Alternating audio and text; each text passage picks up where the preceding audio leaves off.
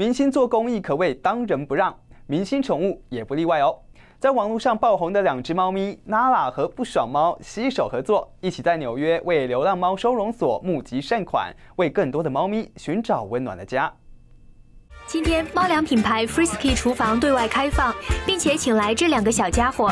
面对众多媒体的围追堵截，不爽猫的表情依然淡定，不屑一顾，甚至闭上了眼睛。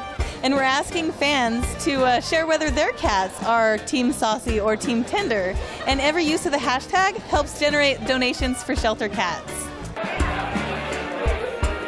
娜娜平时在社交媒体上啊，很喜欢卖萌。那么今天呢，看到她好像有一点紧张。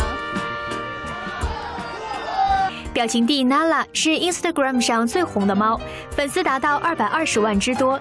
以滑稽的动作和萌翻的表情，成功俘获全球猫奴的心。四岁的 Nala 曾经被原主抛弃，待过动物收容所，直到 Pookie 小姐的出现，彻底改变了她的命运。Like Nala, she has a sweet personality and. 不爽猫也从2012年开始悄然走红网络，并频繁在美国各大媒体亮相。